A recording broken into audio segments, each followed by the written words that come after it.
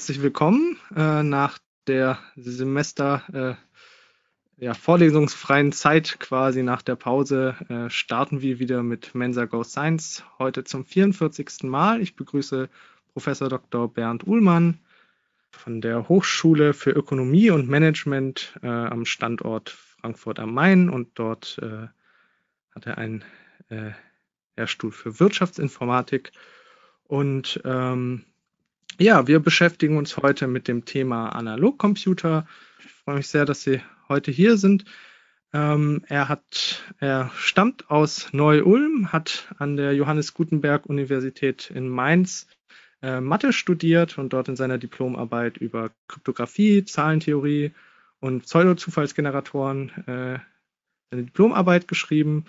Äh, in seiner Promotion hat er sich dann schon mit Analogrechnern beschäftigt, vielleicht auch davor schon, äh, weiß ich nicht, uns vielleicht erzählen, genau. Und ähm, da dann eben auch äh, von der wissenschaftlichen Seite her. Dazu wird er uns heute etwas erzählen. Und dann würde ich direkt das Wort übergeben und bin sehr gespannt. Vielen herzlichen Dank für die Einleitung und vielen herzlichen Dank für die Einladung. Analogrechner beschäftigen mich schon ewig, äh, eigentlich seit ich 14 Jahre alt bin. Das fing seinerzeit an mit einem kleinen Artikel in der ELO, das war eine deutsche Elektronikzeitschrift für Bastler. Und in diesem Artikel wurde vorgestellt, wie man mit damals sehr, sehr einfachen Operationsverstärkern Mathematik machen konnte. Und diese Idee des Rechnens mit einem Analogon, wovon sich der Name ja letztlich auch ableitet, hat mich seitdem nie wieder losgelassen. Und im Lauf meines Lebens habe ich das äh, quasi aus einer immer professionelleren Warte betrachtet, das Thema. Entsprechend ist das Thema heute Analog- und Hybridrechnen, Hybrid Computing. Die Folien sind auf Englisch, aber ich denke, das wird niemanden abschrecken.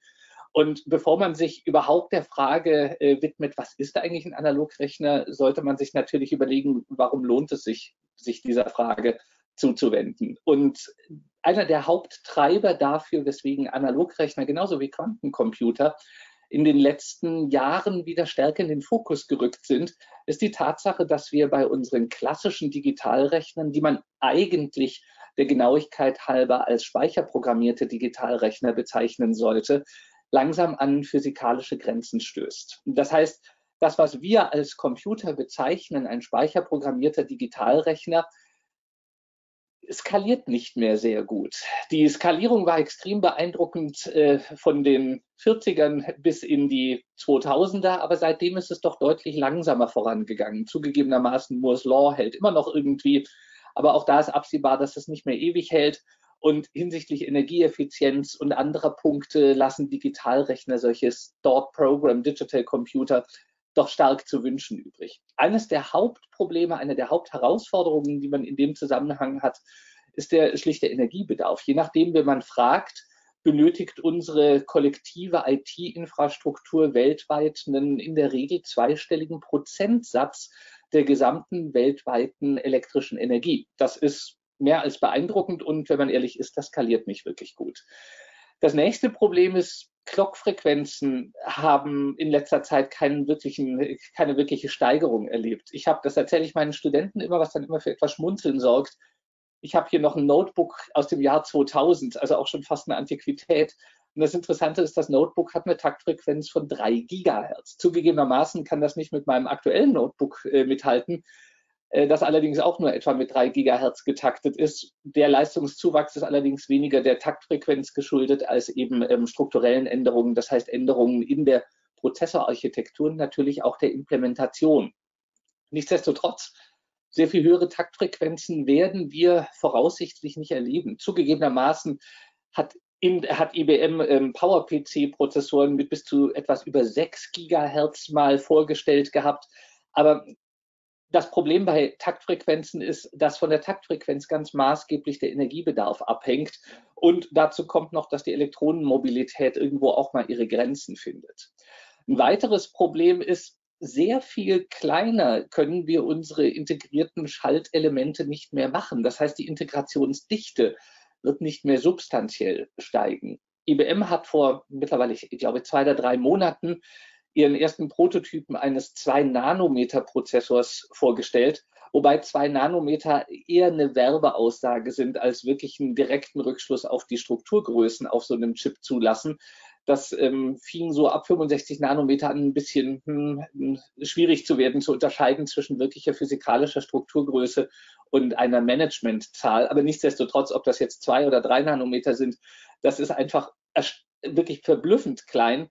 Nur am Ende des Tages, man muss halt seine Bauelemente mit äh, Atomen bauen und kleiner als ein Atom wird's nicht. Und wenn man einen Isolator braucht, braucht man in der Regel ein paar Lagen eines äh, Isolator, Isolatormaterials, da einem sonst der Tunneleffekt das Leben wirklich vermiesen kann. Das heißt, wir werden auch nicht mehr so große Zuwächse erleben, was Transistorfunktionen auf einem Chip angeht. Apples M1 mit 57 Milliarden Transistoren auf einem Chip ist schon extrem beeindruckend. Und zugegebenermaßen, es gibt natürlich auch Firmen, die Full Wafer Scale Integration ähm, beherrschen. Ähm, Cerebras, äh, die bauen zum Beispiel einen Spezialprozessor für KI-Applikationen. Der Chip ist wirklich etwa so groß wie ein DIN A4-Blatt und ist ein einziger integrierter Schaltkreis mit über 100.000 CPUs, allerdings auch mit, wenn ich mich recht entsinne, 12 Kilowatt Anschlussleistung. Das heißt, bei einer Chorspannung von etwas unter einem Volt reden wir da von 15.000 Ampere, die man erstmal zu diesem Chip bringen muss und von 15 kW Abwärme, die man irgendwie wieder loswerden muss. Das heißt, auch das skaliert nicht wirklich gut. Wer selber mal Parallelrechner programmiert hat, also massiv parallele Systeme, weiß, Parallelismus ist schwer. Das ist nichts, was einem quasi geschenkt wird. There's no such thing like a free lunch. Das ist nirgends so wahr wie in der Informatik. Und wenn man ein Problem hat, ist der Ansatz, hm, dann werfe ich halt zehnmal mehr CPUs auf das Problem, dann wird es schon zehnmal schneller laufen, in der Regel von vornherein zum Scheitern verurteilt.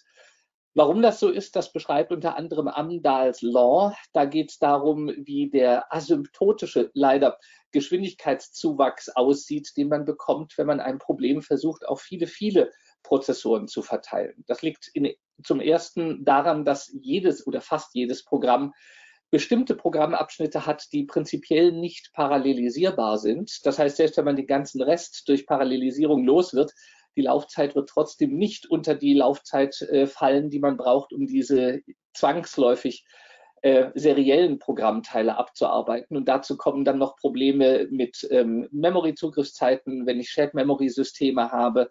Äh, wenn ich NUMA-Systeme habe, Non-Uniform Memory Access, äh, wird das Problem noch äh, deutlich komplexer und natürlich Netzwerklatenzen. Wenn man sehr große Rechner hat, sowas wie in Rheinland-Pfalz zum Beispiel Mogun 2, was im Vergleich zu sowas wie Summit in Oak Ridge oder Fugaku am Riken Center in Japan schon wieder eine kleine Anlage ist, aber dann braucht man natürlich irgendein Netzwerk-Interconnect. Mit anderen Worten, es dauert einfach Zeit, um Daten zwischen verschiedenen äh, Prozessorsystemen auszutauschen in einem solchen Parallelrechner. Und wenn man dann noch einen Blick auf einen solchen Chip, auf einen Prozessorchip wirft, dann fällt einem auf, dass das eigentlich, auch wenn das ein bisschen plakativ ist, irgendwie pervers ist. Wir verwenden nur einen winzig kleinen Bruchteil der auf einem Chip verwendeten Transistorfunktionen wirklich für Rechnen. Die, die, die, überwiegende Mehrheit aller Transistorfunktionen hat eigentlich nur was damit zu tun, Daten zwischenzuspeichern, das heißt Cache-Strukturen zu implementieren, beziehungsweise den Ablauf der eigentlichen Rechenoperationen zu steuern. Das ist tja, hm, irgendwie suboptimal. Es skaliert nicht gut. Wenn man an einen Supercomputer denkt, denkt man vermutlich und auch zu Recht an sowas hier. Eine große Halle mit einer Riesenmaschine drin, was zugegebenermaßen extrem cool ist, aber halt auch extrem teuer, extrem energieaufwendig, extrem schwierig zu programmieren und keine Lösung für alle Probleme, die man äh, im Computing-Bereich so hat. Richtig bitter wird es, wenn man sich sowas anguckt. Das sind keine Installateursweltmeisterschaften, das sind die Vorbereitungen für die Installation eines solchen Supercomputers. Das ist die Verrohrung für die Wasserkühlung einer solchen Maschine. Und wenn man sich überlegt, was ein Digitalrechner macht, jetzt mal außer Rechnen, ähm, in erster Linie macht er warm. Der verwandelt Strom in Wärme. Und diese Abwärme muss abgeführt werden. Und wenn ich Millionen von Cores auf relativ kleinem Raum unterbringe, dann habe ich ein wirklich großes Problem. Ich muss einige Megawatt an Abwärme mit geeigneten Kühlmitteln abführen. Luftkühlung kann man dann fast schon vergessen. Das heißt, in der Regel endet man bei Wasserkühlung und ähm, andere Kühlmethoden bieten sich zwar an, skalieren aber wieder nicht sehr gut, weil sie einfach viel zu komplex sind. Wer ein bisschen in die Historie schaut und sich an Maschinen von Seymour Cray erinnert, der Großmeister des Supercomputings, der erinnert sich, dass seine ähm, Cray 1 zum Beispiel schon mit Freon gekühlt wurde, wobei das Freon noch sogenannte Cold Bars durchlief, in die dann Kupferplatten eingesteckt wurden, auf die die eigentlichen Printed Circuit Boards montiert waren. Bei der Cray 2 war das Abwärmeproblem schon so groß geworden, dass Seymour Cray zu Liquid Immersion Cooling greifen musste. Das heißt, die Maschine war eigentlich so eine Art Aquarium, das mit Freonen gefüllt war. Und in diesem Aquarium waren die ganzen Platinen angeordnet. Das heißt, die schwammen quasi im flüssigen Freon. Und ganz im Ernst, das, das skaliert natürlich nicht gut. Das ist ein wartungstechnischer Albtraum. Und auf die Spitze getrieben hatte das seinerzeit Control Data, was der Firma unter anderem auch das Genick gebrochen hatte mit der ETA 10G. Die Maschine wurde mit flüssigem Stickstoff gekühlt. Das ist zwar technisch alles unglaublich cool, aber auch unglaublich unpraktikabel. Das heißt, es skaliert einfach nicht gut. Wenn man sich mal anguckt, woher resultiert eigentlich der immense Energieverbrauch, den unsere klassischen Digitalrechner haben, muss man sagen, zum großen Teil aus der Tatsache, dass sie eben digital Werte repräsentieren. Das heißt, dass wir Werte als Bitfolgen darstellen. Wenn man sich eine typische komplementäre Ausgangsstufe anschaut, hier ist eine abgebildet, das ist in dem Fall ein Inverter. Wenn meine Eingangsspannung einen High-Pegel hat, dann schaltet der untere Transistor durch, dann ist die Ausgangsspannung low. Wenn die Eingangs, das Eingangssignal low ist, dann schaltet der obere Transistor durch, dann ist mein Ausgangssignal high. An sich extrem simpel. Das Problem an der Geschichte ist zum einen, wir müssen sehr, sehr häufig schalten bei unseren Taktfrequenzen. Wenn wir uns einen modernen Prozessor angucken, der Rechner, vor dem ich gerade sitze, der hat einen Intel i7 mit 4,2 Gigahertz Taktfrequenz. Das sind unter 250 Pikosekunden für einen Clock-Cycle. Das ist schon also schier unvorstellbar. Das heißt aber, dass sie manche Transistoren ein paar Milliarden Mal pro Sekunde zwischen, naja, an und aus hin und her schalten müssen. Und das machen sie halt nicht mit einem Transistorpärchen, sondern das machen sie mit Millionen und Abermillionen von Transistorpärchen. Jeder dieser Schaltvorgänge hat aber zur Folge, dass sie einen unvermeidlichen, wenn gleich ungewollten, parasitären kleinen Lastkondensator umladen müssen, dieses CL hier. Unser, unsere Ausgangsstufe ist natürlich mit Eingängen weiterer Gatter verknüpft auf dem integrierten Schaltkreis das geschieht letztlich mit einer Art Leiterbahn auf dem Chip, zum Beispiel aufgedampfte Metallisierungsebenen. Die muss ich natürlich isolieren gegeneinander. Sobald ich aber, naja, leitende Objekte habe, die gegeneinander isoliert sind, bekomme ich Kondensatoren. Die sind und bleiben unvermeidlich. Nun sind die klein, zugegeben, aber ich schalte halt auch sehr, sehr häufig. Selbst ein sehr kleiner Kondensator sieht bei ein paar Gigahertz aus wie ein Kurzschluss. Und wenn ich davon halt Millionen von äh, und Abermillionen solcher parasitären Kondensatoren habe, dann ist das einer der Haupttreiber für den Energiebedarf eines Digitalrechners. Dazu kommen dann noch so ein paar andere Probleme, zum Beispiel, dass im Moment des Schaltens selber ganz, ganz kurz, einige Pikosekunden lang beide Transistoren leiten. Ähm, wenn man jetzt auf die Idee kommt, hm, kann ich nicht dafür sorgen, dass die nicht beide gleichzeitig schalten? Ja, im Prinzip schon durch entsprechendes Biasing, aber dann kann ich meine Clockfrequenz halt auch nicht mehr halten. Der langen Rede kurzer Sinn ist, ähm, im Großen und Ganzen skaliert die Leistungsaufnahme eines solchen Digitalrechners superlinear mit der Taktfrequenz und ein bisschen hemdsärmlich betrachtet eigentlich quadratisch. Das heißt, ganz grob verdoppeln Sie die Taktfrequenz und Sie brauchen viermal so viel Energie. Das heißt, mein 4,2 Gigahertz, was ich immer noch sehr beeindruckend finde, Prozessor in meinem Desktop-Rechner hier, würde ich den mit 8,4 Takten, also angenommen, ich könnte das überhaupt, dann hätte der halt die vierfache Leistungsaufnahme. Und das ist einfach mit Luftkühlung nicht mehr wegzubringen und auch nicht mehr, nicht mehr praktikabel. Die Abbildung hier ist auch sehr plakativ, bringt aber das Thema auf den Punkt. Wenn man sich mal die Leistungsdichte anschaut, dann sind wir in Bereiche vorgedrungen mit unserer Technik, die wirklich extrem schwierig zu handhaben sind. Man muss sich immer vor Augen halten, die Abwärme bei einem modernen Prozessor wird ja auf ein paar Quadratzentimetern frei. Wenn man sich so einen Die anschaut, das heißt so einen kleinen äh, so ein kleines Stückchen Silizium, einen Kristall mit den entsprechenden Gatterfunktionen für meinen Prozessor drauf. Das sind vielleicht zwei oder drei Quadratzentimeter. Und eine moderne CPU aus dem Serverbereich hat eine TDP, eine Thermal Design Power von locker 250 Watt. Und 250 Watt von der Fläche von wenigen Quadratzentimetern abzuführen, das ist beileibe nicht mehr trivial. Wenn wir uns einen solchen Die mal anschauen und grob identifizieren, was für Einheiten wir drauf haben, hier ist ein auch nicht mehr so ganz aktuelles Bild eines Intel Sandy Bridge Chips, dann sehen wir in der Mitte dominierend einen riesigen Bereich, das ist der Level 3 Cache. Das ist nur ein schneller Zwischenspeicher für die acht Cores, die auf diesem Chip untergebracht sind. Das heißt aber, dieser ganze mittlere Bereich hat überhaupt nichts mit dem Rechnen zu tun. Dann haben wir acht Cores, die um diesen Level 3 Cache angeordnet sind. Und jeder dieser Cores selber hat nochmal einen Second und einen First Level Cache. Der letzte ist noch dazu in Instruction Data Cache unterteilt, weil das intern schon lange keine von Neumann, sondern eine Harvard-Maschine ist. Aber das führt alles zu weit hier. Das heißt aber, diese Bereiche, den Level 1 und den Level 2 Cache, die tragen auch nichts zum eigentlichen Rechnen bei. Der ganze untere Teil ist verbraucht, genauso wie der obere Teil. Ich brauche irgendwie Interfaces zu meinem RAM, ich brauche Interfaces zu den Bussystemen. Das heißt, auch das hat nichts mit dem Rechnen zu tun. Und würde man jetzt weiter reinzoomen in einen solchen Core, dann stellt man fest, dass ein solcher Rechenkern, ein Core ist letztlich eine Central Processing Unit, dass ein solcher Kern wenn es hochkommt, vielleicht mal drei oder fünf sogenannte ALUs hat. Eine ALU ist eine Arithmetic Logic Unit. Das heißt, eine ALU ist die Einheit, die wirklich mal rechnen kann. Das heißt aber, der ganze Rest auf diesem Chip ist nur dafür da, Daten zur ALU zu bringen und Ergebnisse von der ALU abzuholen. Das ist eigentlich nur bürokratischer Overhead. Das, was hier rechnet, ist vernachlässigbar von der reinen Chipfläche. Und das wird besonders deutlich, wenn wir uns hier mal eine Strukturabbildung eines solchen Prozessors anschauen.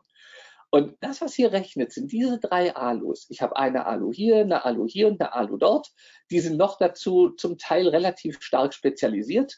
Dann habe ich noch äh, eine, zwei Loads und eine Store-Pipeline und solche Sachen. Aber der ganze Rest sind Caches, sind Pre-Decoders, eine Instruction Queue, Decoders, ein Cache für Micro-Operations, ich brauche unglaublich komplexe Ablauflogik. Ich muss Re Register Renaming machen. Ich muss Branch Prediction machen. Ich muss Speculative Execution machen, was alles nichts mit dem eigentlichen Problem, nämlich löse irgendeine Aufgabe zu tun hat, sondern wirklich nur dafür dient, versorge die ALUs mit den jeweils richtigen Daten und den jeweils richtigen Instruktionen.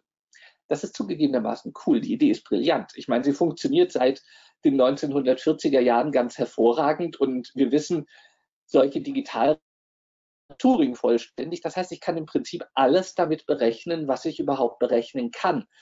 Nichtsdestotrotz, ein Blick in die Natur zeigt überhaupt nichts in der Natur arbeitet so, und zwar aus naheliegendem Grund. Nichts in der Natur kann es sich erlauben, derartigen Raubbau mit Ressourcen zu treiben, wie wir das momentan mit Digitalrechnern machen. Ich meine jetzt mit Ressourcen, Gatter, Transistorfunktionen, Chipfläche, sowas in der Art.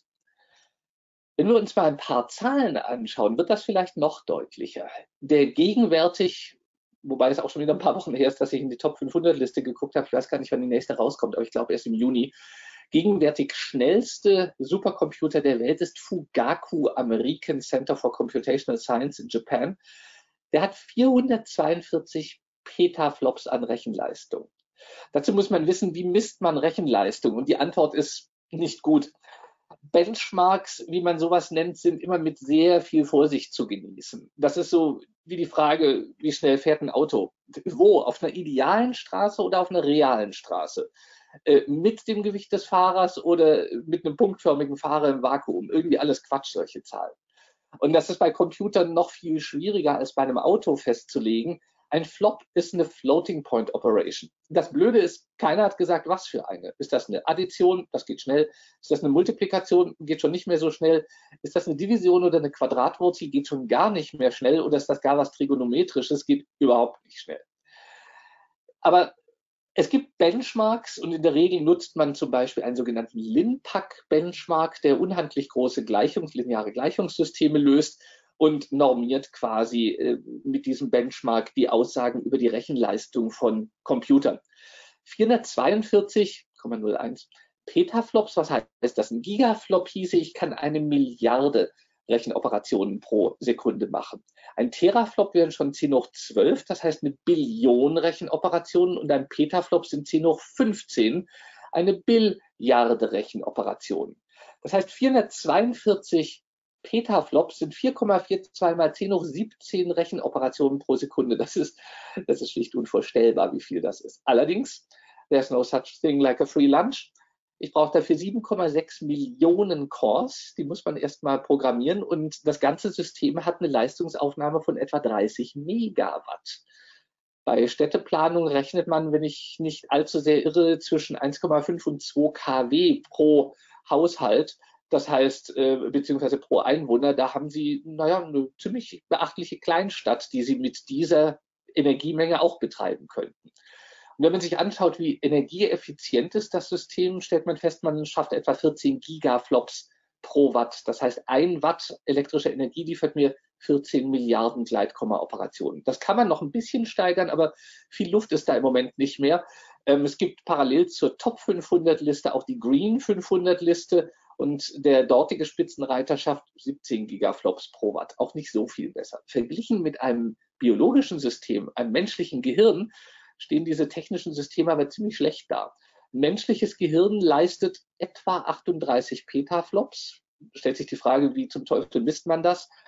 Ähm, auch wieder sehr grob. Man überlegt sich, wie viel Flops brauche ich, um das, was ein Neuron an ähm, Computational Load erledigt, zu simulieren.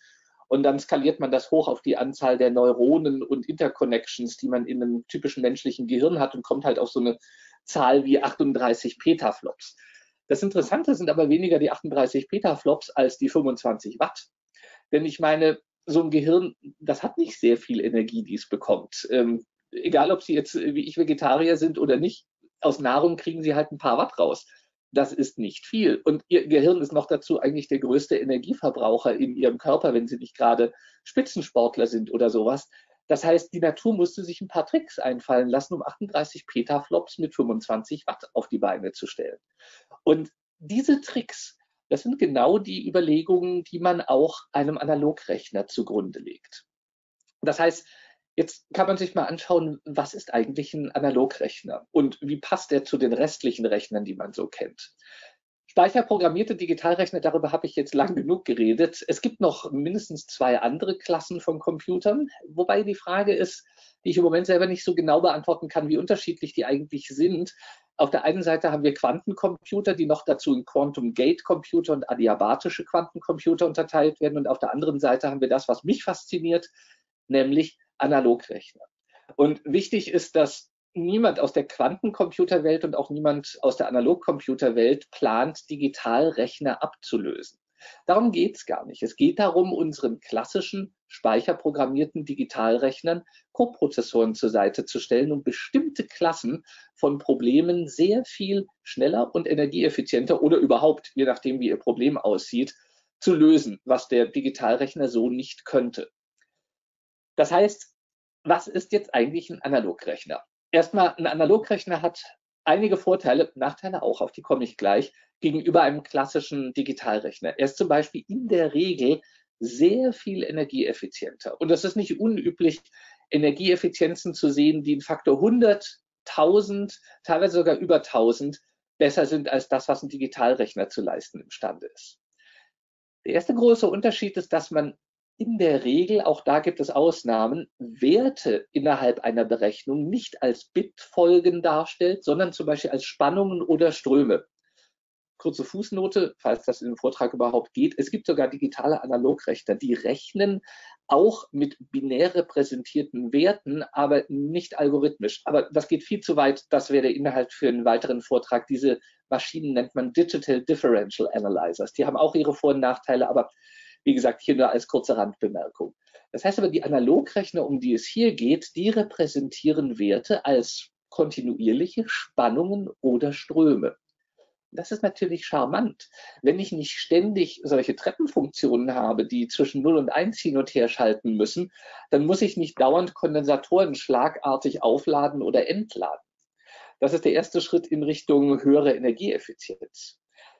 Dazu kommt, dass ein Analogrechner nicht algorithmisch programmiert wird. Das, was wir bei einem Computer eigentlich für gegeben halten, wir haben einen Computer, der hat eine fixe Struktur und wir haben ein Programm, das liegt im Speicher von Neumann-Architektur oder Harvard-Architektur und die Maschine führt die einzelnen Instruktionen dieses Programms in der sequentiellen Abfolge aus.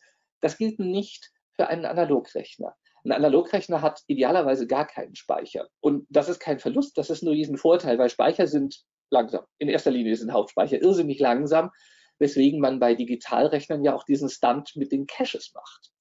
Das heißt, ähm, ich programmiere einen Analogrechner ganz anders, als ich einen Digitalrechner programmiere. Beim Analogrechner habe ich wirklich eigentlich 100 Prozent meiner Elektronik um Rechenelemente zu implementieren. Ich habe so gut wie keine Ablaufsteuerung, ich habe keinen Speicher, ich habe keine Caches, ich habe keine Register, ich habe nichts von all dem, was ein Digitalrechner komplex und extrem ähm, schwierig zu implementieren macht bei einem Analogrechner.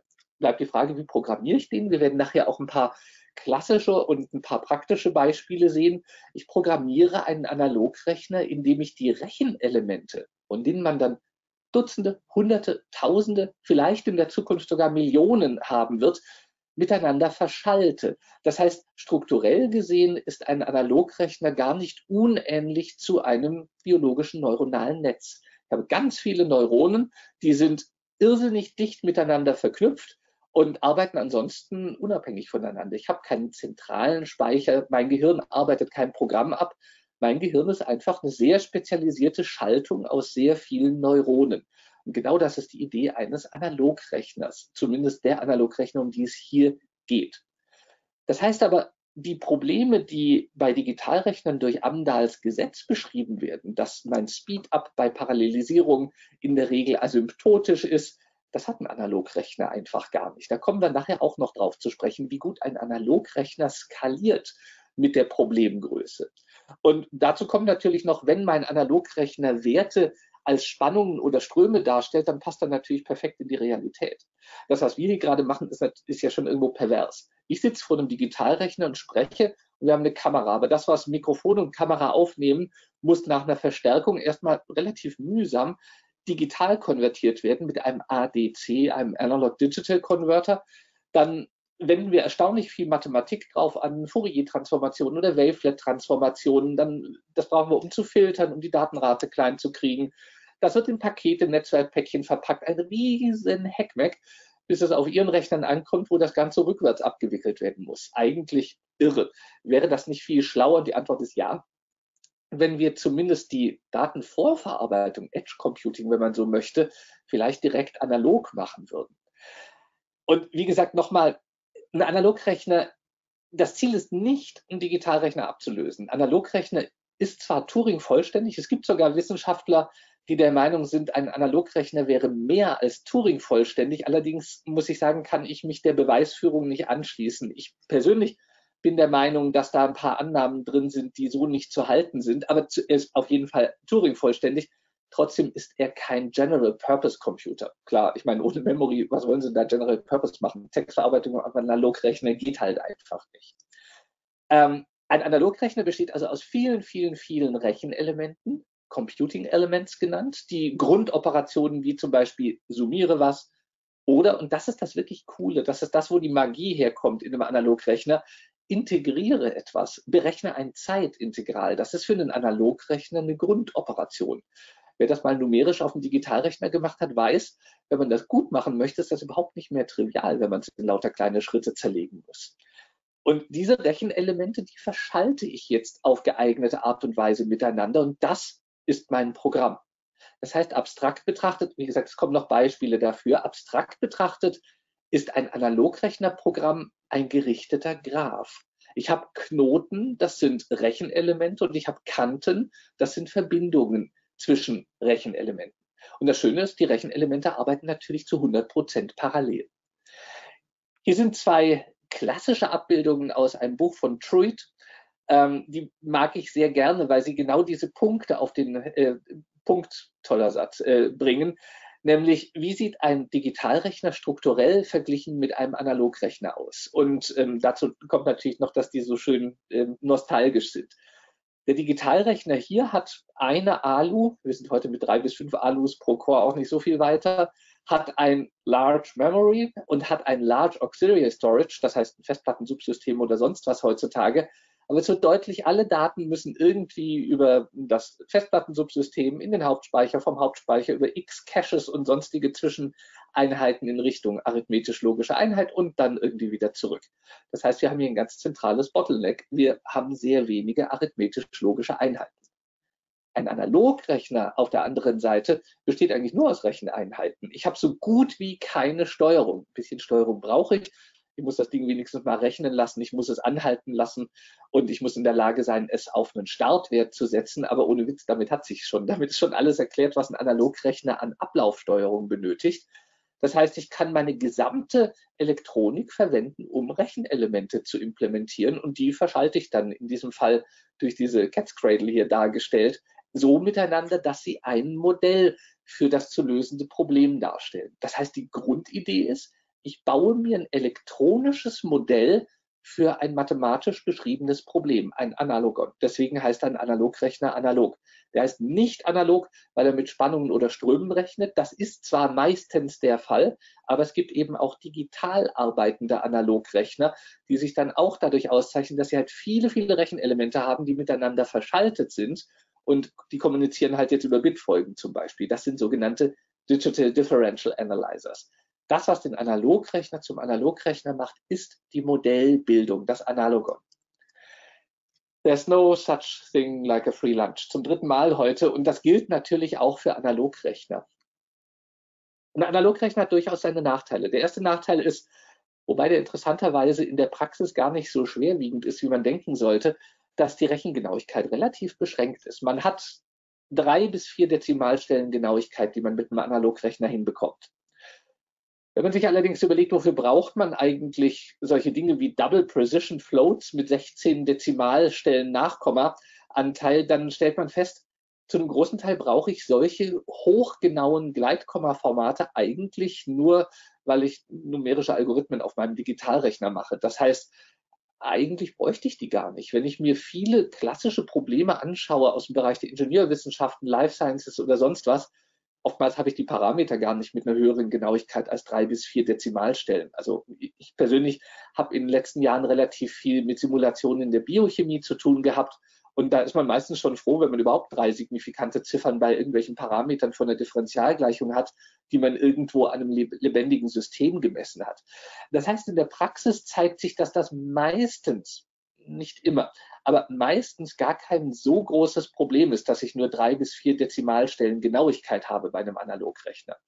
Wenn es ein Problem ist, dann kann man sich immer noch überlegen, und darauf wird es natürlich auch hinauslaufen, wenn ich so einen Analogrechner mit einem Digitalrechner kopple, kann ich nicht mit dem Analogrechner wenigstens sehr schnell und sehr energieeffizient mich an eine gute Lösung, wenn man so möchte, ranraten, die ich danach mit einem numerischen Verfahren auf dem Digitalrechner verfeinere. Also ich meine, wenn jemand wirklich partout 16 Nachkommastellen Genauigkeit braucht, dann kann ich mit einem Analogrechner mindestens mal einen sehr, sehr guten Startwert produzieren, von dem aus ich dann mit einem klassischen numerischen Verfahren entsprechende Genauigkeit ähm, generieren kann. So, ähm, ein Analogrechner, das führt auch ein bisschen weit, ähm, kann leider nur hinsichtlich der Zeit integrieren. Das ist ein bisschen blöde, wenn wir es mit sogenannten partiellen Differentialgleichungen zu tun haben, was aber nicht heißt, dass es nicht geht. Es geht nur nicht so schrecklich elegant, wie man sich wünschen würde. Und ein Analogrechner tut sich richtig schwer damit, beliebige Funktionen zu implementieren. Wenn man bei einem Analogrechner für irgendeine Problemlösung, zum Beispiel mal einen Sinus Omega-T oder sowas braucht, den würde man erzeugen, indem man eine Differentialgleichung löst, die diese Funktion als Lösung hat. Das würde man auf dem Digitalrechner eigentlich nie machen. Wer würde den Hackmack machen, eine Differentialgleichung zu lösen, nur um eine Hilfsfunktion zu kriegen, um eine andere Differentialgleichung zu lösen? Beim Analogrechner ist das ein ganz normales und auch sehr vernünftiges Vorgehen, weil, wie wir gleich sehen werden, Analogrechner perfekt dazu geeignet ist, Differentialgleichungen zu lösen. Wenn ich aber Funktionen habe, die ich nicht als Lösung einer Differentialgleichung bekomme, sondern zum Beispiel Funktionen, die ich aus Experimenten abgeleitet habe, das heißt, ich habe Stützstellen und interpoliere irgendwie schlau zwischen meinen Stützstellen, dann hat ein Analogrechner ein echtes Problem. Das geht zwar auch, aber der technische Aufwand steigt sehr, sehr schnell. Ähm, und auch das ist ein Punkt, wo die Kopplung mit einem Digitalrechner sehr, sehr hilfreich sein kann. Und als letzten Nachteil eines Analogrechners, das auch naheliegend, wenn ich schon meine variablen Werte als Ströme oder Spannungen darstelle, dann habe ich natürlich nur ein festes Intervall. Mein, meine Spannung kann nicht größer als ein maximaler Spannungswert und nicht kleiner als ein minimaler Spannungswert werden. Das heißt, ich muss meine Gleichungen so skalieren, dass alle beteiligten Variablen nicht aus diesem zulässigen Wertebereich rauskommen. Das klingt jetzt aus der Perspektive des 21. Jahrhunderts ziemlich krude. Ich meine, wir haben uns alle daran gewöhnt, dass wir Gleitkommazahlen haben und in der Regel, was ein Riesenfehler ist, verschwendet kaum einer einen Gedanken dran, äh, was er denn eigentlich mit seinen Gleitkommazahlen gerade macht. Das heißt, man denkt gar nicht großartig drüber nach, ähm, welche Größenordnungen habe ich hier eigentlich, was zu ziemlich bitteren Problemen führen kann. Das aber nur als Randbemerkung. Interessanterweise ist das aber gar nicht so schlimm, vor allem nicht für die Applikationen für die Analogrechner wirklich hervorragend geeignet. Das heißt, auch hier der langen Rede, kurzer Sinn, es ist nicht alles Gold, was glänzt, aber die Probleme sind nicht so schlimm, wie sie aussehen würden. Und verglichen mit einem Quantencomputer sind das äh, Peanuts-Probleme. Wenn man sich allein mal anschaut, wie kompliziert es ist, zum Beispiel auf D-Wave-Maschine überhaupt irgendein Problem zu lösen, dann kommt einem, kommen einem diese Einschränkungen eines Analogrechners wirklich wie Peanuts vor. Der Analogrechner alleine war klassisch ein sehr, sehr wichtiger Pfeiler unserer technischen äh, Zivilisationsgeschichte. Heutzutage ist das in der Regel nicht mehr sehr interessant. Das heißt, heutzutage denkt man natürlicherweise in der Regel daran, Analogrechner mit Digitalrechnern zu koppeln. Das heißt, der Analogrechner wird so eine Art Coprozessor für den Digitalrechner und dann spricht man von einem Hybridrechner. Das heißt, die Idee ist, ich will das Beste aus beiden Welten. Ich will zum Beispiel vom Digitalrechner die Möglichkeit, dass er Memory hat. Der Digitalrechner könnte zum Beispiel Funktionen, solche durch Experiment hergeleiteten Funktionen für einen Analogrechner darstellen, indem er Tabellen-Lookups macht. Der Digitalrechner kann den Analogrechner auch steuern, wenn ich zum Beispiel Optimierungsaufgaben löse. Ich mache sowas wie Steepest Gradient Descent oder sonst was. Da kann der Digitalrechner den Analogrechner irrsinnig schnell ein bisschen rechnen lassen, hält ihn an und guckt, geht das in die richtige Richtung? Wenn ja, lässt dann weiterrechnen. Wenn nein, lässt er den Analogrechner an einer anderen Stelle wieder aufsetzen.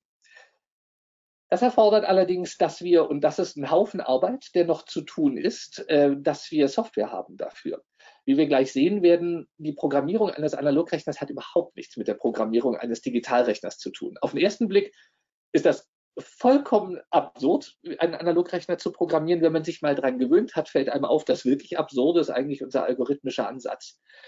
Ähm, wenn man sich dran gewöhnt hat, stellt man wirklich fest, ein Analogrechner ist etwa eine Größenordnung einfacher zu programmieren als ein Digitalrechner, weil ich habe ja schon die mathematischen Grundoperationen und vor allem die Integration als Grundoperation, die ich brauche, um Probleme zu lösen. Aber auch das führt hierfür erstmal zu weit. Wofür braucht man oder kann man sowas brauchen? Analogrechnen ist definitiv eine disruptive Technologie. Das erste, was einem in den Sinn kommt und das, was mir, wenn ich ehrlich bin, auch am nächsten liegt, ist erstmal High-Performance Computing. Wenn man sich anschaut, wofür brauche ich Supercomputer, das sind in der Regel Probleme, die durch Differentialgleichungen beziehungsweise partielle Differentialgleichungen beschrieben werden. CFD, Computational Fluid Dynamics, Simulationen dynamischer Systeme, ähm, Molekülsimulationen, was auch immer im High-Performance-Computing-Bereich ist der Analogrechner wirklich ideal angeordnet, weil es die perfekte Maschine ist, um Differentialgleichungen zu lösen. Dann Artificial Intelligence. Ich habe den Vergleich ja selber gebracht. Strukturell ist ein Analogrechner nicht so weit weg von einem neuronalen Netz. Das heißt, eigentlich wäre es doch eine naheliegende Idee und IBM hat das vor ein paar Wochen auch ähm, publiziert. Die haben zum Beispiel einen analogen Coprozessor vorgestellt für neuronale Netze. Die Firma ähm, Mythic AI in den USA entwickelt analoge Coprozessoren, die nennen das In-Memory Computing und implementieren ihre synaptischen Gewichte als Flash-Speicherzellen, was ziemlich cool ist. Das heißt, das ist ein Riesenanwendungsgebiet für Analogrechner. Alles, was in Richtung künstliche neuronale Netze geht, schreit danach, mach, implementiere mich analog. Dann medizinische Applikationen. Die Energieeffizienz eines Analogrechners ist unschlagbar, vor allem wenn ich nicht sehr hohe Rechenleistungen brauche. Wenn ich, und ich meine, das ist bei biomedizinischen Applikationen in der Regel der Fall, selbst wenn ich einen Herz- oder einen Hirnschrittmacher habe, da sind wir im Bereich von ein paar Hertz oder ein paar hundert Hertz an Bandbreite, die ich brauche. Das erlaubt zumindest perspektivisch die in der Entwicklung von zum Beispiel Implantaten, die so energieeffizient sind, dass sie überhaupt keine externe Energiesource brauchen, sondern sich mit Energy Harvesting direkt aus dem Trägerkörper versorgen können. Dann industrielle Steuerungssysteme. Das war bis in die 70er, 80er Jahre alles analog, dann wurde es digital, weil das zugegebenermaßen seinerzeit deutlich flexibler gewesen ist. Heutzutage zeigt sich, dass man sich damit unter, zum Teil massive Sicherheitslücken eingehandelt hat. Also man möchte gar nicht im Detail wissen, wie manche doch recht kritische Infrastrukturkomponente aufgestellt ist, was Angreifbarkeit zum Beispiel angeht. Und wenn ich einen Analogrechner betrachte, den ich vielleicht ein einziges Mal konfiguriere und diese Konfiguration dann festhalte, wie auch immer man das dann technisch macht, das ist halt so klassisch nicht hackbar. Ich habe keinen Speicher, ich habe keinen Algorithmus, ich habe keine Buffer-Overflow-Attacke, ich habe keinen Trampolining. All diese klassischen Angriffsvektoren fallen weg. Dann, auch das hatte ich schon erwähnt, Signal Pre- und Post-Processing für, für mobile Geräte zum Beispiel oder auch hier für Videokonferenzen oder ähnliches. Triggerworterkennung. Daran arbeiten auch Firmen, zum Beispiel für Next Generation Alexas und ähnliches. Wenn Sie eine Alexa haben, ich persönlich habe keine, dafür bin ich denn doch ein bisschen zu paranoid, was äh, Datensicherheit und ähnliches angeht. Ähm, aber wenn Sie eine haben, die arme Alexa muss ja ständig lauschen. Hat hier jemand Alexa gesagt? Und digital ist das ein verdammt energieintensiver Prozess. Klar, paar Milliwatt, also absolut nicht viel, nur Sie haben halt auch sehr, sehr viele Alexas da draußen rumstehen. Und es gibt Ansätze, diese Triggerworterkennung analog zu machen. Das heißt, einen analogen Co-Prozessor zu haben, der nur eine Sache kann, die aber irrsinnig energieeffizient, nämlich erkenne, dass jemand Alexa gesagt hat. Monte Carlo-Simulationen sind auch perfekt geeignet für Analogrechner. Das heißt, in der Finanzmathematik wimmelt es von potenziellen Anwendungen. In Optimier Optimierungsaufgaben lassen sich damit lösen. Also im Prinzip ähm, die Grenzen sind die Fantasie, wo man Analogrechner einsetzen kann. Schauen wir mal uns ein paar Bilder klassischer Analogrechner an. Das ist so mein persönlicher heiliger Gral, was man hier sieht. Ähm, das ist die Analogrechner-Installation von Bölko. Bölko war in den, ähm, in den Jahren vor Mitte der 70er etwa einer der führenden Luft- und Raumfahrt ähm, eines der führenden Luft- und Raumfahrtunternehmen in Deutschland. Und was man hier sieht, Stand 1960, ist ein Flugsimulator bei Bölko. Und bevor man jetzt lacht, ähm, das tut mir immer in der Seele weh, wenn die Leute lachen, zum Beispiel über, haha, mein Handy hat so viel mehr Speicher als der Apollo Guidance Computer oder haha, guck mal die ganzen Kabel hier. Man muss überlegen, das ist jetzt 62 Jahre her und das war ein richtiger Flugsimulator. Das heißt, im Nebengebäude, im Nebenraum stand ein Flugzeugcockpit auf so einem hydraulischen Hexapod, das heißt, ich hatte wirklich ein Cockpit auf einer Plattform, wie man das von den Flugsimulatoren von Lufthansa und anderen kennt, mit dem ich richtige Flüge unternehmen konnte. Und über den hydraulischen Hexapod sind dann sogar entsprechende G-Kräfte simuliert worden, sodass sie wirklich ein Fluggefühl bekamen. Und das stand 1960 komplett mit Analogrechnern. Allerdings sieht man hier nicht nur die Eigenschaften eines Analogrechners, sondern man sieht auch die Nachteile, die zum Teil zum rapiden Aussterben von Analogrechnern Ende der 70er bis Mitte der 80er Jahre geführt haben. Die Programmierung hier ist, also mir macht Spaß, aber da braucht man auch eine Neigung dazu, so zu programmieren. Die meisten Leute finden das einfach nur abschreckend und man braucht eine sehr, sehr hohe Frustrationstoleranzschwelle, um äh, das lustig zu finden am Ende haben Sie wirklich ein paar tausend Kabel auf einem solchen Patch-Panel, die die entsprechenden Rechenelemente miteinander verbinden. Das ist klar, das ist Museum. Darum geht es nicht im 21. Jahrhundert. Wir müssen von genau dieser Form der Programmierung weg und daran arbeiten mittlerweile auch schon einige Arbeitsgruppen. Man sieht aber noch was anderes Interessantes. Das ist nicht ein Analogrechner, das sind alleine drei große Analogrechner, Telefunken RA800 übrigens. Hier auf dem Tisch stehen nochmal fünf kleine Tischrechner, Telefunken RAT 700. Daneben stehen nochmal zwei kleine amerikanische Rechner, EAI TR10. Und das wirklich Interessante ist, all diese Computer zusammen bilden ein System. Dadurch, dass ich keinen Speicher habe, ich habe keine Central Processing Unit, ich habe einfach ein paar 19 Zoll Schränke voll mit Rechenelementen. Wenn mein Rechner nicht groß genug ist, dann stelle ich halt noch einen daneben und habe mehr Rechenelemente. Das ist zugleich Fluch und Segen, aber ein interessanter Punkt. Wenn Sie einen Digitalrechner betrachten, dann haben Sie eigentlich immer die Möglichkeit, Komplexität gegen Zeit zu tauschen. Wenn Ihr Problem schwieriger wird, dann brauchen Sie einfach länger, um das Problem zu lösen. Bis hin zu Hitchhiker's Guide to the Galaxy mit Deep Thought, der dann zwei Millionen Jahre drüber nachgedacht hat, bevor er 42 geantwortet hat. Das heißt, ein Digitalrechner kann im Prinzip alles lösen, solange Sie genügend Speicher und genügend Zeit haben und genügend Energie und bla bla bla. Aber prinzipiell können Sie immer Komplexität gegen Zeit tauschen. Das kann ein Analogrechner nicht. Wenn Ihr Problem zu kompliziert wird, das heißt so kompliziert, dass Sie mehr Rechenelemente brauchen, als Sie zur Verfügung haben in Ihrem Analogrechner, dann, dann geht es halt gar nicht. Sie können das Problem dann nicht lösen. Das heißt, wenn Sie einen Analogrechner haben, dann muss der Analogrechner immer mindestens so groß sein wie das Problem, das Sie lösen wollen. Das heißt, wenn Ihr Problem komplex ist, simulieren Sie mal ein Flugzeug, dann enden Sie am Ende bei drei großen, fünf kleinen, zwei ziemlich kleinen Analogrechnern und eigentlich einem Riesenraum voll mit Elektronik. Das ist aber auch cool. Warum? Während Ihr Digitalrechner in der Regel, wenn man von Ausnahmen wie Hash-Funktion und bla absieht, in der Regel langsamer wird, wenn Ihr Problem komplexer wird, Ihr Analogrechner hat immer in derselben Zeit die Lösung. Das ist cool. Das heißt, wenn der Analogrechner mit dem Problem mitwachsen kann, liefert er immer in derselben Zeit eine Lösung für dieses Problem. Das heißt, wir haben auf bei einem Analogrechner eine Skalierung mit etwa O von 1.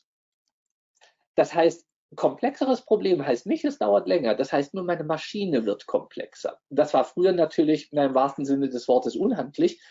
Perspektivisch wenn wir solche Computer auf integrierten Schaltungen haben, Gott, da habe ich halt zwei Chips oder von mir aus zehn oder einen Schrank voll mit diesen Chips. Aber ich habe kein Problem, Maschinen zu bauen, die Tausende oder vielleicht sogar Millionen von Rechenelementen beinhalten.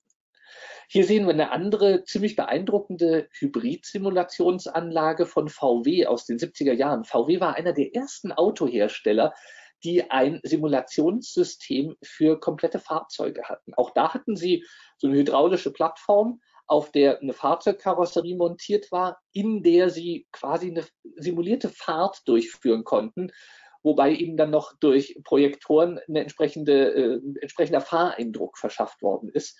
Und diese Simulationen waren wirklich unglaublich präzise, also bis hin zum Motorkennlinienfeld, wie verhält sich das Getriebe beim Schalten und, und, und. Sie konnten wirklich das Fahrzeug so weit mit Hilfe der Simulation optimieren, bis sie einen Prototypen bauen konnten, der eigentlich schon fast ohne Macken gewesen ist.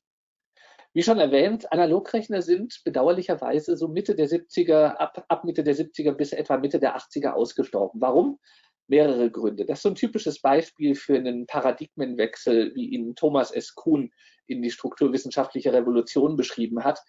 Das erste Problem war, die meisten Protagonisten des Analogrechnens waren etwa gleich alt. Warum? Elektronische Analogrechner kamen während des Zweiten Weltkrieges auf. Das heißt, die meisten Lehrstuhlinhaber, die meisten Ingenieure in Firmen waren Ende der 70er im Alter, wo sie in Rente gingen. Und wie das häufig so ist, gerade im akademischen Bereich, Nachfolger machen verständlicherweise alles andere als ihre Vorgänger. Das heißt, das war ein Problem, das Analogrechner hatten. Das zweite Problem war, Digitalrechner sind sehr schnell sehr billig geworden. Das haben die Hersteller von Analogrechnern verpasst. Gerade in den USA hatten sich Hersteller von Analogrechnern wie Electronic Associates Incorporated darauf verlassen, dass dieser, die, die, dieser Riesenhype, von dem sie gelebt hatten, nämlich Mondlandeprojekt und vorher Gemini und vorher Mercury-Projekt, dass das immer so weitergehen würde. Die NASA hat, war ein, ein, ein unerschöpflicher Topf an äh, Entwicklungsmitteln für solche riesigen Analogrechnersysteme. Dass es so nicht kam, wissen wir alle. Dazu kam noch, wechseln Sie mal von einem Programm zum nächsten. Also ich meine mal ganz im Ernst, wenn Sie da ein ganz anderes Programm draufbringen wollen, das macht keinen Spaß. Da sind Sie locker einen Tag, zwei, drei beschäftigt, bis das läuft. Das ist nicht praktikabel. Zugegebenermaßen hat man damals schon versucht, das ein bisschen praktikabler zu machen, indem diese ganzen Patchfelder komplett rausgenommen werden können. Das heißt, sie hatten, ihre Programmbibliothek war wirklich ein Schrank voll mit Patchfeldern, die mit so einem Kabelsalat ähm, versehen waren. Das ging noch relativ flott. Was nicht mehr flott ging, war, stellen Sie mal diese 10-Gang-Potentiometer per Hand auf drei Nachkommastellen ein. Da sind Sie schon viele, viele Stunden beschäftigt. Und das machen Sie dann bei vielen, vielen Rechnern. Das ist nicht praktikabel. Timesharing können Sie komplett vergessen.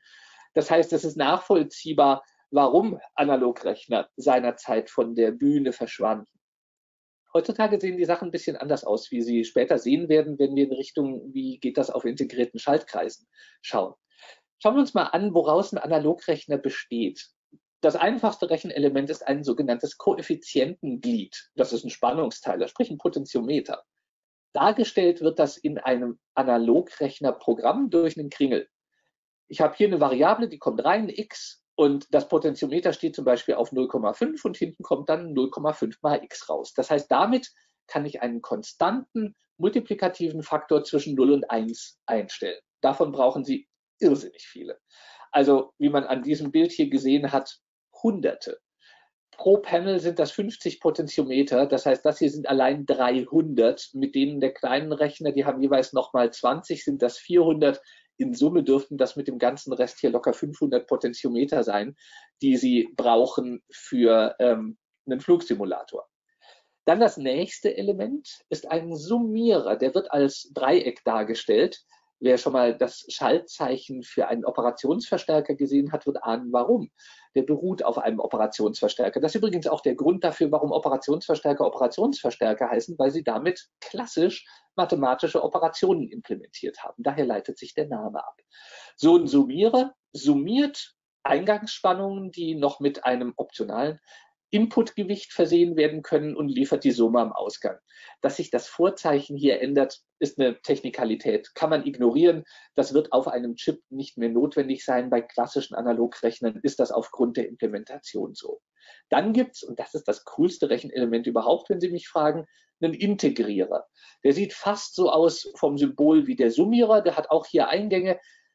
Kenntlich ist er durch dieses rechteckige, diese rechteckige Box und die hat noch einen zusätzlichen Eingang.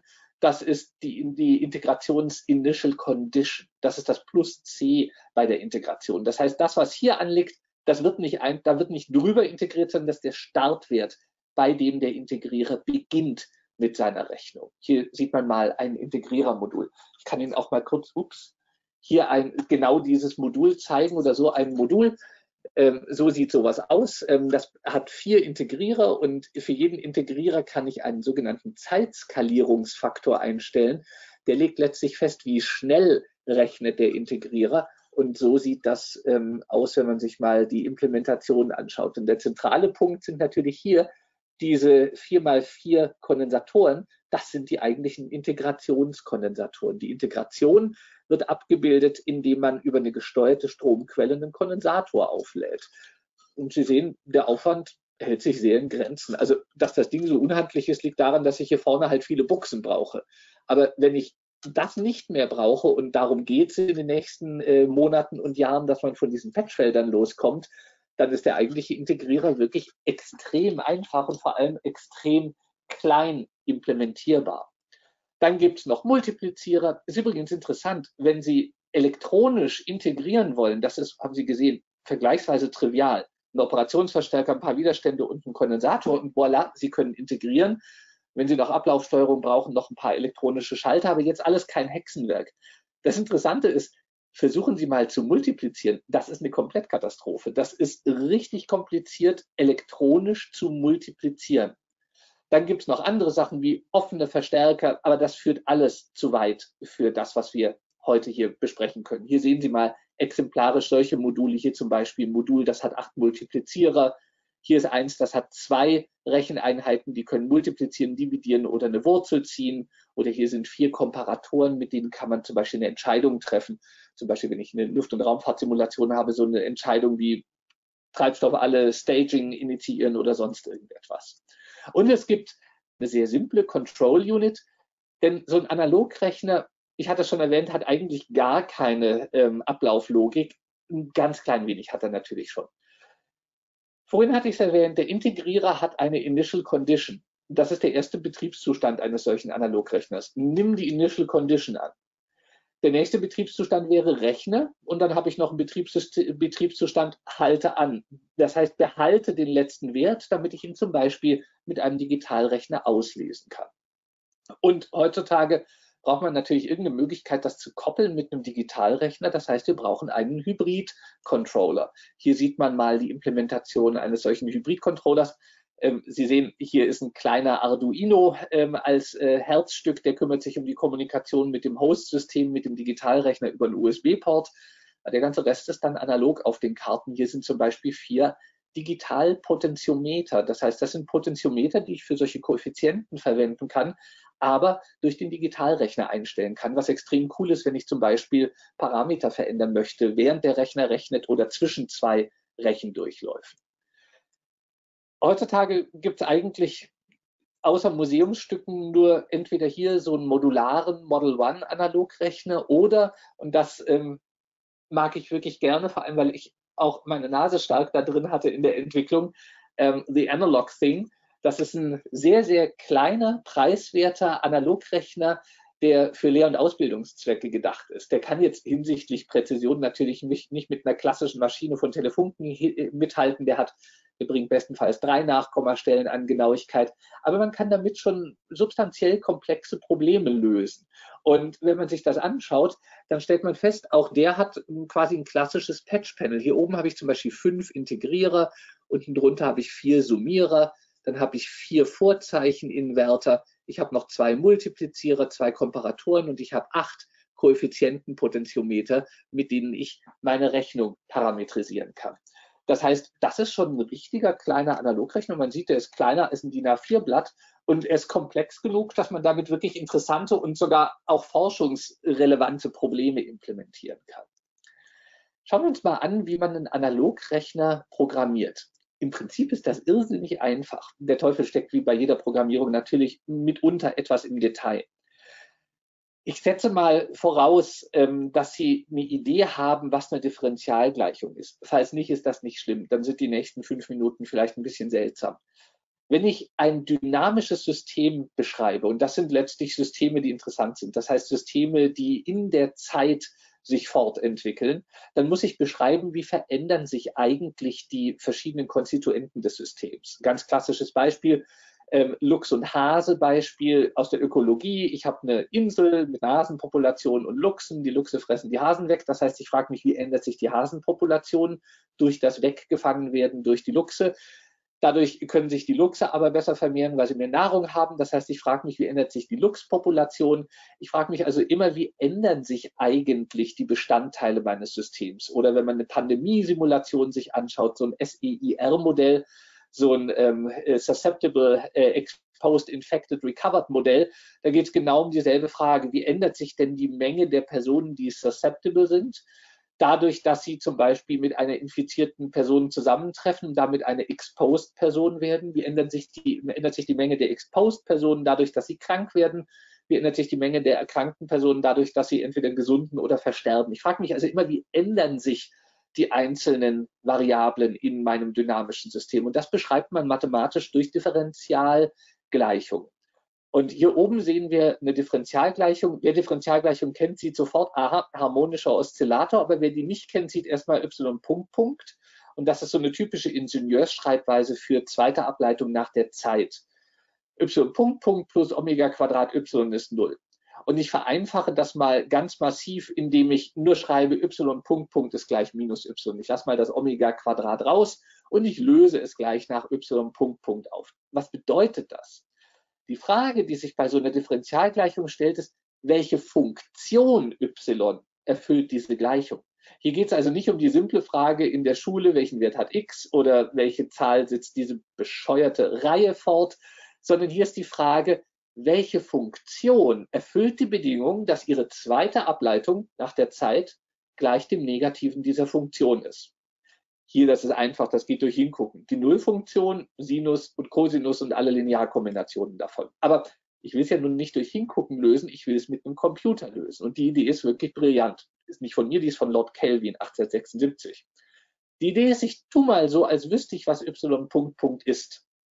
Wenn ich einmal über y Punkt Punkt integriere, bekomme ich y Punkt. Klar, wenn ich über eine zweite Ableitung integriere, bekomme ich eine erste Ableitung mit gedrehtem Vorzeichen. Wie gesagt, Technicality können wir ignorieren hier.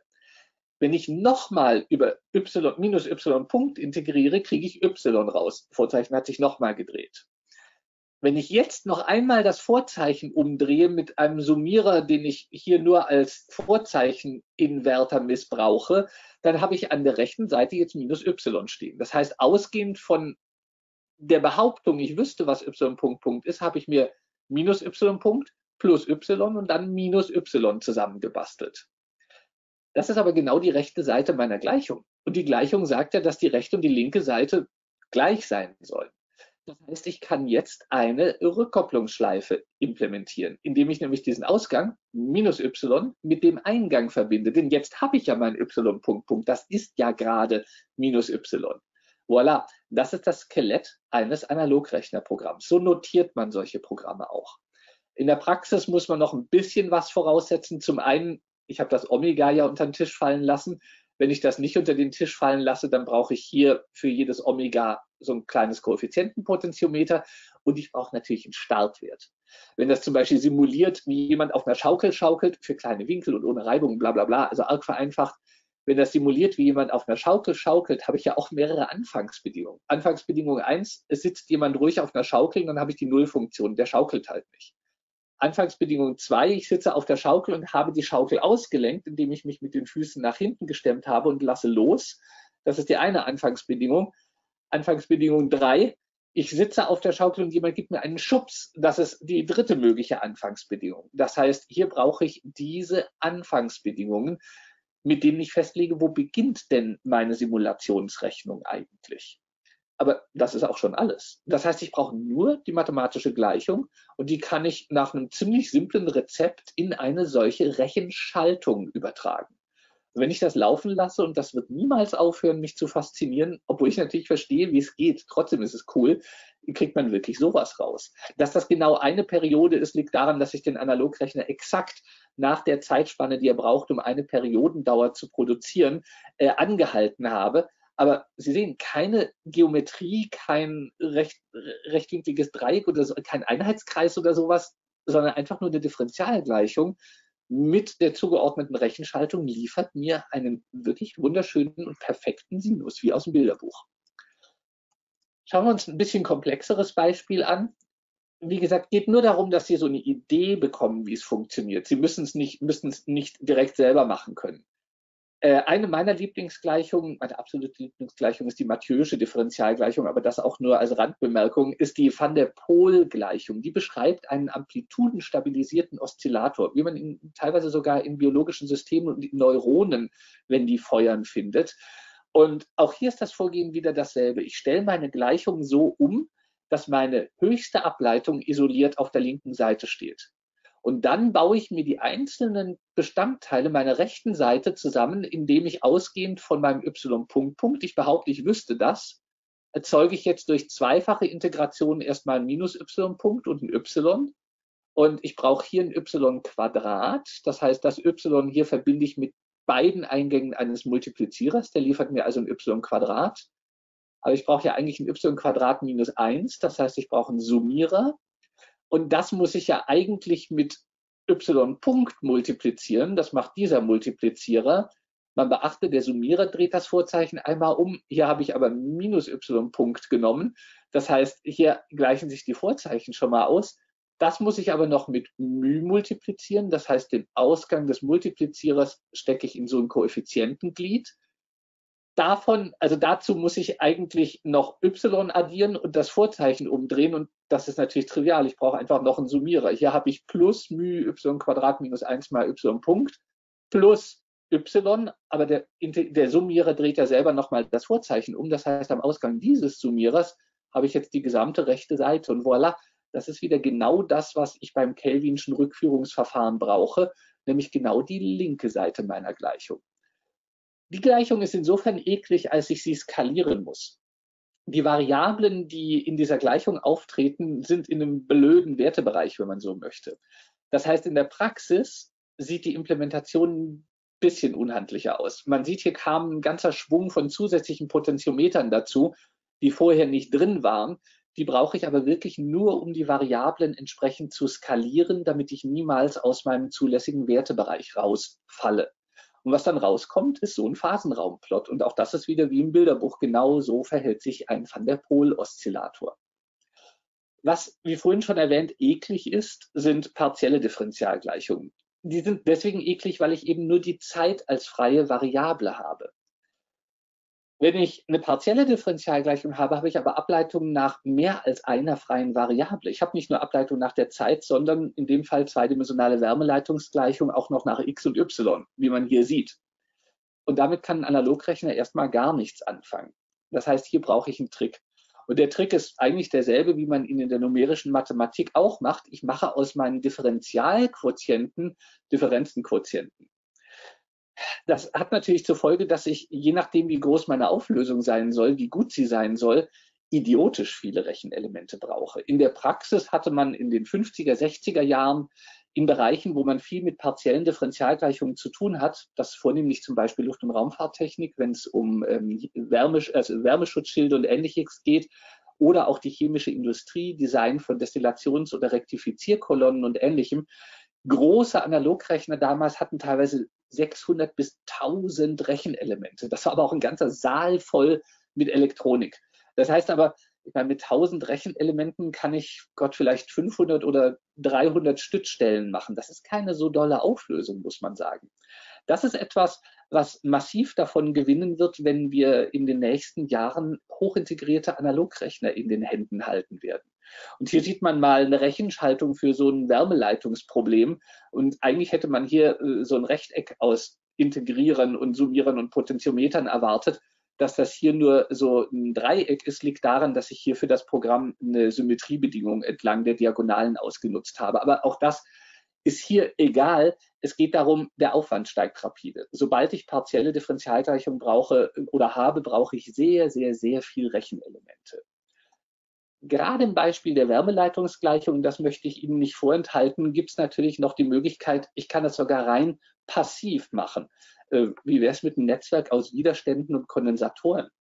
Und weil mir das nie einer geglaubt hat, hatte ich mal vor mittlerweile zwei oder drei Jahren mich an einem langweiligen Samstag hingesetzt und genau so ein Array aus Widerständen und Kondensatoren gelötet. Und das funktioniert wie im Bilderbuch. Das löst natürlich die Wärmeleitungsgleichung. Und vor allem löst das die Wärmeleitungsgleichung irrsinnig energieeffizient. Wenn ich nämlich keine hohe Rechengeschwindigkeit brauche, kann ich hier ziemlich große Widerstände nehmen. Ich habe, ich glaube, in diesem Fall 180k Widerstände genommen, einfach weil ich aus irgendeinem mir unerklärlichen Grund 1000 Stück davon rumfliegen hatte. Ähm, das heißt, es dauert ewig, also viele, viele zehn Sekunden, bis sich die Kondensatoren in Steady State aufgeladen haben. Aber dafür braucht das natürlich so gut wie keine Energie. Auch solche Basteleien sind letztlich Analogrechner. Es sind sogenannte passive Analogrechner. Und wenn man sich dann die Mühe macht, was ich gemacht habe, die Spannungen, sobald das den Steady State erreicht hat, an allen 64 Knotenpunkten auszulesen und mal mit GNU-Plot zu plotten, kommt sowas raus. Eine perfekte Lösung der Wärmeleitungsgleichung. So, wie sieht das heute aus? Klar, Patch Panel gehört ins Museum. Es ist cool, es macht Spaß, es ist großartig, vollkommen unpraktikabel. Das heißt, wir müssen vom Patch Panel wegkommen. Es gibt von sehr einfache zu einfache, zumindest für High Performance Computing und ähnliches. Es gibt sehr einfache Analogrechner on Chip, die nennen sich dann FPAAs. Das ist genau das Board, das man auf der Folie gerade sieht. In der Mitte dieser kleine Chip ist ein Field Programmable Analog Array. Das ist ein rekonfigurierbarer, sehr simpler Analogrechner, der vor allem für Audiosignalverarbeitung gedacht ist. Rechts daneben ist ein kleiner Mikrocontroller, dessen einzige Aufgabe eigentlich darin besteht, Konfigurationsdaten von einem Steuerrechner per USB entgegenzunehmen und die dann als Bitstrom in den Analogrechner hochzuladen. Das ist zu simpel für wirklich mathematische Aufgabenstellungen und meiner Meinung nach ist die Form des Interconnects, die hier gewählt worden ist, nicht schlau. Ich würde es anders machen und ich mache es auch anders, aber das steht auch auf einem anderen Blatt, das geht hierfür zu weit. 2005 hatte Glenn Edward Russell Cohen im Rahmen seiner Doktorarbeit einen Analogrechner und Chip entwickelt für die Lösung stochastischer Differentialgleichungen. Das war das erste Mal, dass jemand demonstriert hat, wir kriegen eigentlich alles, was man braucht für einen Analogrechner auf einen integrierten Schaltkreis und voilà, vor allem ohne dieses doofe Patch-Panel. Das heißt, wir können die einzelnen Rechenelemente rekonfigurieren, indem wir sie mit Kreuzschienenverteilern miteinander verbinden. 2016 hat dann Ningo am gleichen Lehrstuhl von Professor Zividis in den USA ein Nachfolgeprojekt vorgestellt. Das war schon ein sehr, sehr, sehr viel besserer Analogrechner on Chip als der von äh, Mr. Cohen. Aber auch da leider akademisches Projekt. Das heißt, da wurde außer einer Doktorarbeit, was ja schon beeindruckend genug ist, wurde leider kein kommerzielles Produkt draus. Diese Chips haben auch durchaus Nachteile. Die Bandbreite ist sehr begrenzt. Ähm, die Fehler, die die Rechenelemente mit sich bringen, die sind zum Teil beunruhigend hoch, muss man sagen. Das heißt, diese Chips sind noch relativ weit davon entfernt, kommerziell nutzbar zu sein. Ähm, wir selber, wir sind äh, gute Freunde von mir und mittlerweile unsere Mitarbeiter. Wir arbeiten daran, einen Analogrechner on Chip zu entwickeln, der diese Nachteile nicht aufweist. Das Ziel ist, einen Analogrechner on Chip zu haben, der eine Bandbreite hat, die hoch genug ist, dass man typische Differentialgleichungsprobleme in 0,1 bis einer Mikrosekunde lösen kann. Das heißt, da wird das schon eine Herausforderung für den angeschlossenen Digitalrechner, schnell genug die Ergebnisse vom Analogrechner abzuholen und schnell genug Parameter zu liefern. Wer mal mit Device-Treibern unter Linux experimentiert hat, weiß, dass Interrupt-Latenzzeiten eher im Bereich von einigen zehn bis einigen hunderten Mikrosekunden mindestens liegen bei einem aktuellen Linux-System. Das heißt, es ist eine echte Herausforderung, einen Hybridrechner zu bauen, wenn der Analogrechner eben für diese Klassen von Problemen Größenordnungen schneller ist als der Digitalrechner. Das ist nicht die einzige Herausforderung. Die nächste Hürde ist, die ist natürlich lösbar, aber man muss es machen.